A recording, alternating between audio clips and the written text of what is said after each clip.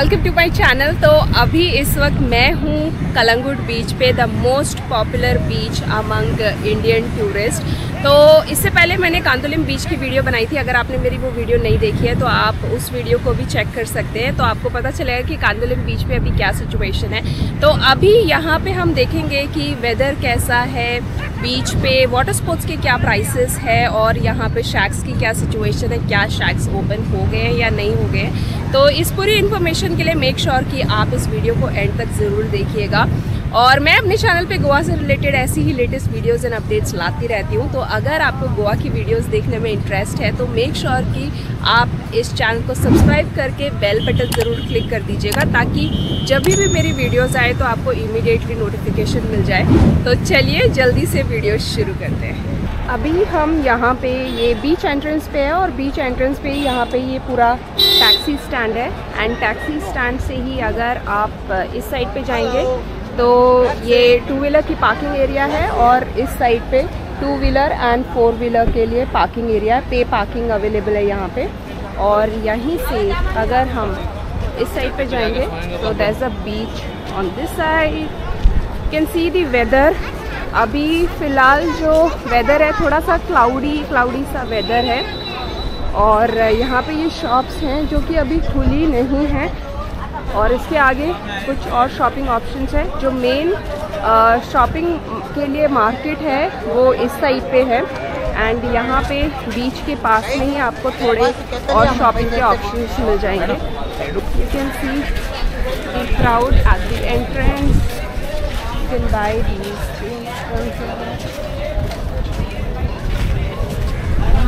tattoo tattoo के ना submit कर दे टैटो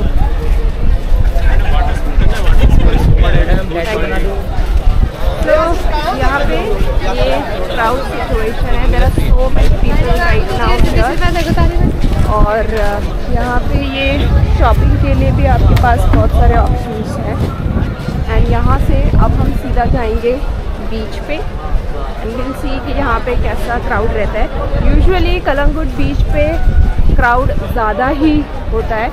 और अभी भी वैसे ही क्राउड रहेगा यहाँ पे। द ओनली थिंग इज़ हमें यहाँ पे देखना है कि शैक्स की क्या सिचुएशन है।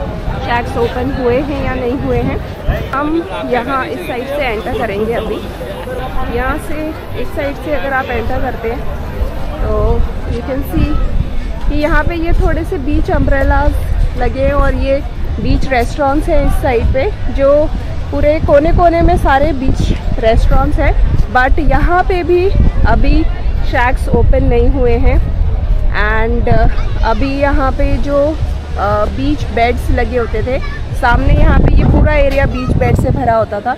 बट अभी बिकॉज़ शैक्स ओपन नहीं हुए हैं यहाँ पे, आज यहाँ पर भी नेशनल गेम्स के ये होर्डिंग जैसे लगे हुए बैनर्स प्रमोट नेशनल गेम्स तो अभी गोवा में नेशनल गेम्स चल रहे हैं। जो यहाँ पर अगर आप आएँगे तो अभी भी आप देखेंगे ये पूरा एम्प्टी एरिया है, खाली एरिया है, यहाँ पे अभी भी बीच पैड्स लगे नहीं हैं। द ओनली रीज़न कि अभी भी यहाँ पे बीच शैक्स ओपन नहीं हुए हैं, यहाँ पे कुछ बीच अम्ब्रेलाज लगे हुए हैं और इस साइड पे एक शैक होता है जो कि स्टार्ट स्टार्टिंग में ही शैक होता है, वो भी अभी बंद है। उन लोगों ने यहाँ पे पूरा बीच अम्ब्रेलाज का सेट सिटिंग अरेंजमेंट किया हुआ है तो जो कि बहुत ही अच्छा है। So this is the national games का प्रमोशन के लिए यहाँ पे लगाया हुआ है। एंड बीच अम्ब्रेलाज का सेटअप है। लास्ट अगर आपने मेरी कलंगुट बीच की वीडियो देखी होगी तो ये पूरा यहाँ आगे तक था। अब इसको पूरा पीछे की तरफ़ कर दिया गया है। और, यहाँ पे आगे अगर आप शैक्स देखेंगे तो सारे शैक्स क्लोज हैं। तो यहाँ पे ये एंट्रेंस है, जहाँ से मैं अभी एंटर किया है। और, यहाँ से हम थोड़ी और आगे की तरफ़ जाएँगे। तो यहाँ पे अगर आप देखेंगे, ये शैक्स हैं जो कि अभी भी फ़िलहाल कंस्ट्रक्शन का नहीं हुआ है, बने नहीं है अभी। तो ये अभी बनने में थोड़ा टाइम लगेगा, इसीलिए यहाँ पे पीछे कुछ सिटिंग अरेंजमेंट कर रखा है। वैसे यहाँ पे जितने भी बीच साइड रेस्टोरेंट्स हैं, उन्होंने थोड़े थोड़े बीच अम्ब्रेलाज लगाए हुए हैं चेयर्स लगाई हुई है टूरिस्ट के बैठने के लिए, ताकि वो वहाँ पे बैठ कर के अपना खाना ड्रिंक्स ये सब इंजॉय कर सकते हैं। और, यहाँ पे ये पूरा एरिया आप देख सकते हैं। ये पूरा खाली एरिया बहुत सारे लोग अभी वाटर स्पोर्ट्स कर रहे हैं। ये वाटर स्पोर्ट्स का काउंटर अब लग गया है यहाँ पे। तो आप कभी भी बीच पे आते हैं तो आप कोशिश कीजिएगा कि आप बीच पे आकर के ही यहाँ पे अपने लिए पैकेजेस दें या जो भी बीच वाटर स्पोर्ट्स का पैकेज है वो करवाएँ। तो यहाँ पर अगर आप देखेंगे तो फुल पैकेज 1850 का हो गया है, जो कि अंजुरा बीच पे आपको 1500 का मिलता है। यहाँ पे 1850 का फुल पैकेज है, जिसमें आपको पैरासिलिंग जेट्स की बनाना राइड बम्पर राइड ये सब मिलती है। तो आप यहाँ पे इस काउंटर पे आकर के अपनी बुकिंग करा सकते हैं। और अगर आपको इंडिविजुअल राइड लेनी है तो वो भी अवेलेबल है। तो आप यहाँ पे पैरासिलिंग कर सकते हैं, जो कि थाउज़ेंड रुपीज़ है वन डिप के साथ। जेट्स की है three hundred rupees banana ride है पाँच लोगों के लिए थाउज़ेंड रुपीज़ तो ये पूरे प्राइसेस है तो आप देख सकते हैं। अगर आप कलंगुट बीच आ रहे हैं तो आप यहाँ से अपनी टिकट बुकिंग करा करके वाटर स्पोर्ट्स पैकेज ले सकते हैं। एंड यहीं पे सामने ये वाटर स्पोर्ट्स हो रहे हैं। बहुत सारे लोग अभी बीच पे वाटर स्पोर्ट्स कर रहे हैं। तो आप जितनी भी ये पूरी बोट्स देख रहे हैं, ये सारी वाटर स्पोर्ट्स के लिए बोट्स हैं यहाँ पे। और बहुत सारे लोग यहाँ पे इस वक्त वाटर स्पोर्ट्स इंजॉय कर रहे हैं। तो कलंगुट बीच में मोस्टली इंडियन टूरिस्ट ही होते हैं। और बहुत ही रेयर व्यू आपको यहाँ पे इंटरनेशनल टूरिस्ट देखने मिलेंगे और वहाँ पे अगर आप देखेंगे तो पैरासिलिंग और ये जो आप सामने देख रहे हैं, ये बोट राइड है। तो इसमें आपको बिठा करके जो पीछे जितने भी बोट्स लगी है उसका एक लंबा चक्कर लगा करके लेकर आते हैं। बहुत फास्ट जाती है ये बोट पानी के अंदर और इसमें तब आपको बहुत मज़ा आता है जब लहरों में ये टकराती है और बहुत फास्ट आगे बीच में जाती है। तो ये बोट राइड के लिए तैयार हो रहे हैं यहाँ पे। तो अगर आप कलंगुट बीच पे है और आप यहाँ पे वाटर स्पोर्ट्स कर रहे हैं तो कलंगुट बीच पे एक एक्सक्लूसिव वाटर स्पोर्ट्स होता है जो कि नॉर्थ गोवा या साउथ गोवा के किसी भी बीच पे नहीं होता है। यहाँ पे फ्लाई बोर्डिंग होती है जो कि two thousand five hundred rupees ये चार्ज करते हैं। तो फ्लाई बोर्डिंग क्या होती है, उसकी फ़ोटो आपको यहाँ पे स्क्रीन पे दिख जाएगी। तो अगर आप वो करना चाहते हैं तो आप वो कलंगुट बीच पे कर सकते हैं। वो आपको two thousand five hundred rupees charge करेंगे। तो जो काउंटर मैंने आपको दिखाया था वाटर स्पोर्ट्स का, उसी के साइड में एक छोटा सा अम्ब्रेला लेकर के कुछ लोग बैठे होंगे तो वही आपको ये फ्लाई बोर्डिंग का वाटर स्पोर्ट्स करवाने के लिए लेकर जाएँगे। तो आप उनसे फ्लाई बोर्डिंग बुक कर सकते हैं, या फिर जब आप यहाँ पर आते हैं तो आप किसी भी वाटर स्पोर्ट्स पर्सन को पूछ सकते हैं कि फ्लाई बोर्डिंग कहाँ से होती है तो वो आपको बता देंगे और आप वहाँ पे फ्लाई बोर्डिंग का एक्सपीरियंस यहाँ पे ले सकते हैं गोवा में एट कलंगुट बीच तो अभी मैं मेन एंट्रेंस से थोड़ा सा दूर आई हूँ।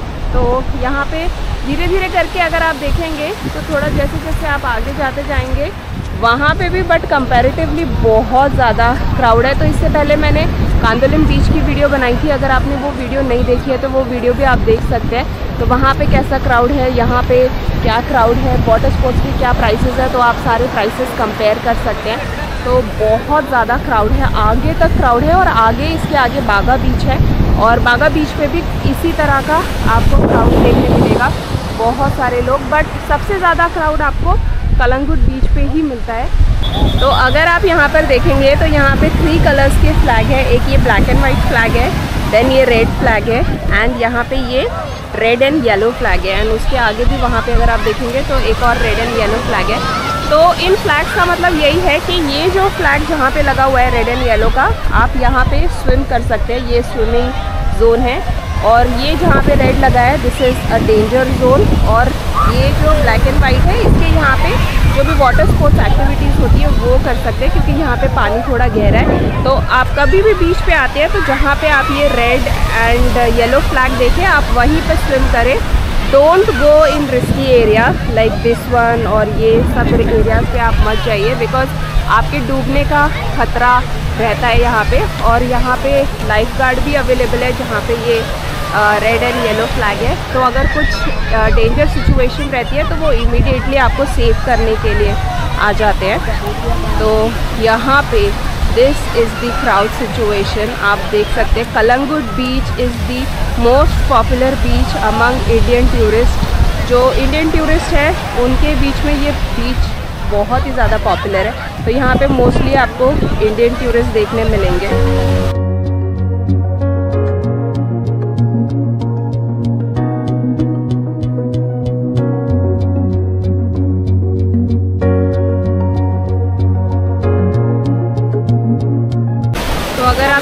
देखेंगे तो बहुत ज़्यादा क्राउड है, बहुत सारे लोग अभी पानी के अंदर है।